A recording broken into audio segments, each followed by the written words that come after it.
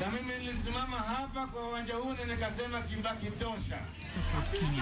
Na kujiunga na chama cha National Development Party. Hata pale uteuzi wa ODM ulipokumbwa na utata mwaka 2013, walioghadhabika na kujiunga na vyama vingine vya siasa hawakuwa na budi kufuta